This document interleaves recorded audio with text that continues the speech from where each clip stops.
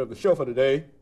The topic is patterns of African American migration in the United States, and we're talking to uh, Dr. David Padgett, who is a geographer at Tennessee State University.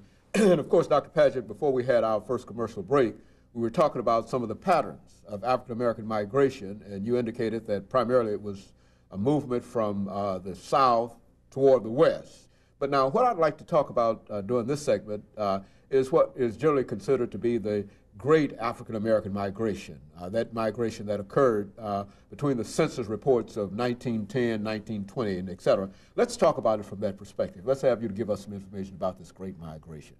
Okay, yes, indeed. Yes, certainly the um, Great Migration, of course, is the one that we're most familiar with historically, where uh, mass numbers of blacks left the South in the early part of the 20th century. Uh, now, there were some push factors mm -hmm. that differed somewhat from uh, those that pushed the exodusters out. Uh, there were a lot of natural disasters that occurred in the early part of the century. There were floods. Mm -hmm. Black people lived primarily in low-lying areas. Uh, there was the boll weevil mm -hmm. plague that wiped out cotton crops and put a lot of black mm-hmm. people out of work. Uh, and so that, along with the racism and the rise of the Klan and mm-hmm. land theft and lynchings, uh, that was still there. That hadn't gone away. Mm -hmm. uh, those were push factors for pushing blacks out of the South. Um, and what was interesting was that still at that time, in the early part of the 20th century, 90% mm -hmm. of blacks lived in the South, mm -hmm. and 80% of that population lived in rural areas. Uh, so you had primarily a rural to urban migratory pattern where you had people from rural areas going north, in this mm-hmm. case, of the Great Migration to mm-hmm. Chicago, to Detroit, mm-hmm. to Cleveland. In fact, uh, the black populations of some of those cities, such as Chicago and Detroit, actually increased uh, two, three hundred percent mm-hmm. during that short period of time. And so the pull factors, what pulled black people to those cities, of course, were jobs, opportunities, more freedom, uh, probably mm-hmm. educational opportunities, all these things that they were not getting mm-hmm. uh, in the South.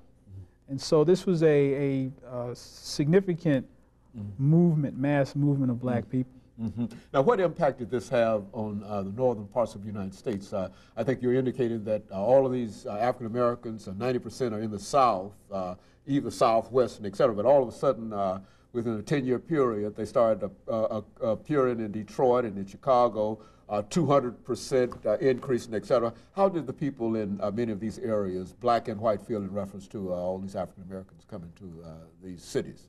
Well, in some cases, there was, of course, resistance by the white community. There was some uh, vagrancy laws passed. Mm -hmm. Obviously, a lot of blacks did not get a job upon arrival in some of these cities, so mm -hmm. they would end up out of work for mm -hmm. periods of time. So you had these vagrancy laws where mm-hmm. blacks would be jailed for being unemployed. Mm-hmm uh, or vagrants. Mm-hmm. Um, and so that was one reaction.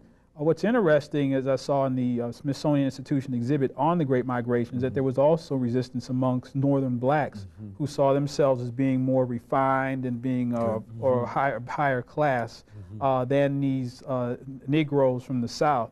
Mm-hmm. and there were some types of behaviors or, or, or things that blacks in the South commonly did that were frowned upon by mm-hmm. northern blacks, mm-hmm. such as sitting out on the porch braiding uh, a girl's hair. That was seen as mm-hmm. being uncouth or, or, or, or talking loud.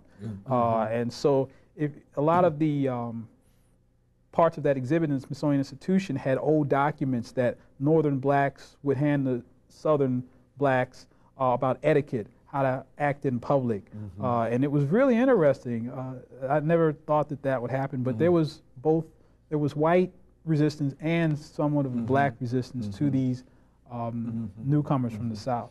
And, and, and you know, uh, uh, we've often heard it said, uh, Dr. Padgett, that uh, many African Americans who were already in the northern parts of the United States, uh, who represented a very, very small percentage of the population, really felt that they did not have a problem relating to the uh, white population. but once these blacks from the southern parts of the United States uh, the many and the uncouth and et cetera, not only did it create a problem for the southern African Americans, but it also created a problem for the northern African Americans too. And so they, therefore, they sort of resisted and resented uh, some of these newly arrived. And, and, and I think, uh, as you can probably uh, testify, that the same thing probably happened to the new immigrants uh, when we talk about uh, the 1890s when all of these immigrants came from southern and eastern Europe. And would you say that perhaps the African American situation from north to south might have been comparable to the southern Eastern European situation coming to uh, the United States? Would you see any kind of comparison in that as,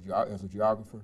Yeah, perhaps as to some degree, but in many cases, on the family level, I don't think there was resistance because it was actually family members who were mm-hmm. calling down mm-hmm. south saying, "Look, mm-hmm. come on up here. You know, there's opportunities. Uh, you know, so." Uh, and I'm pr- pretty sure the same thing was happening with hmm. Europeans. That there were Europeans who had come here who hmm. said, called their cousins or whomever back home and hmm. said, "Come on, come on over." But I, I think you probably had a small portion of the established black elite who offered resistance, but it wasn't resistance to the point that they were causing harm. Mm-hmm. Uh, That mm-hmm. was unlike the vagrancy laws and other laws that were passed mm-hmm. to crack down on the um, exploding black populations. too many, in other words, there were too many African Americans as far as the lawmakers were concerned.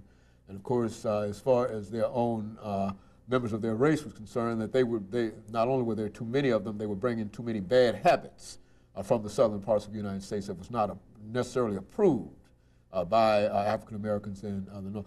Uh, and of course, Dr. Padgett, I think that in a real sense, uh, you came to us earlier and talked about these uh, kinds of trends that uh, occurred. Now, after the uh, Great Migration, uh, what's the status of the African American population in terms of its movement after that? Uh, do they stabilize or whatever during this period? Well, the, the Great Migration moved forward until, of course, the Depression. And the Depression obviously slowed things down quite a bit.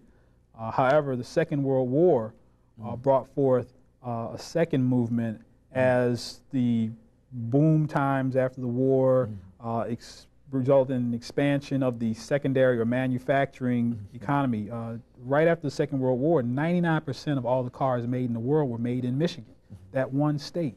So, so there were lots of opportunities in the steel mills for African Americans with little formal education to come up and work with their hands and make a good living. And so it was the industry that uh, helped propel and helped to sustain, in a real sense, members of this uh, great migration. That after they got there, there was something for them to do after they became adjusted and whatever. Very good. And of course, Dr. Padgett, we're getting ready for this uh, second commercial break, after which we'll come back and we'll give you an opportunity to uh, talk about some of the recent trends uh, dealing with this African American population. And we'll be back with our audience following this very, very short uh, commercial break.